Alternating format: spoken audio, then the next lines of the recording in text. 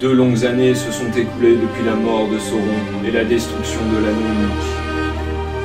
Après la chute de l'œil noir, le royaume murin rentra dans une longue et cruelle guerre civile qui dura plus d'une année.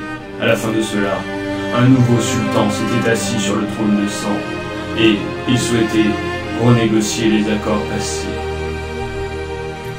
Le nouveau sultan, maître incontesté du Rhin, devait expliquer aux peaux en termes simples, sa nouvelle politique étrangère.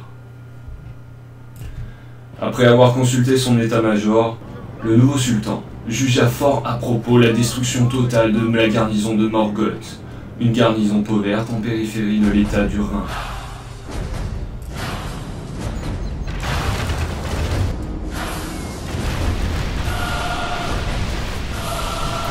Pour les peaux vertes, ce fut une surprise totale. Personne n'avait jugé utile de leur dire qu'ils n'étaient plus les bienvenus. Malheureusement pour les hommes du Rhin, la garnison de Morgoth avait été renforcée. Elle abritait maintenant un régiment complet de trolls, ainsi qu'un renforcement de la garnison d'orques. Tirant parti de ce désavantage tactique, le sultan décida d'aller directement au combat afin de tester sa garde royale. La première légion allait essuyer le gros des dégâts.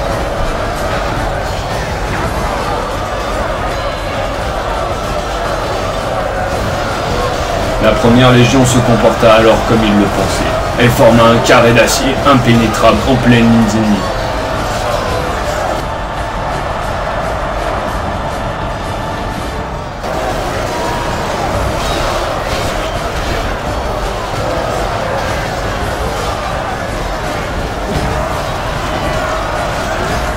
Malgré leur supériorité numérique évidente, les orques commencèrent à fuir en petits groupes.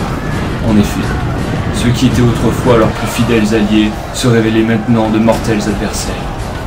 Certains régiments orques laissés en retrait n'attaquèrent même pas. Ils prirent directement la fuite devant la compétence de l'armée du Rhin.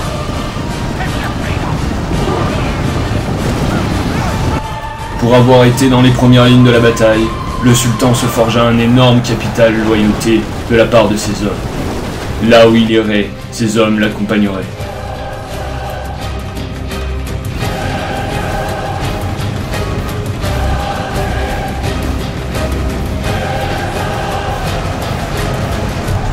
Le régiment d'or tenait encore la garnison de Morgoth. Ils combattirent vaillamment, jusqu'au soir, où ils se firent tous massacrer par le régiment d'élite des lanciers du sultanat.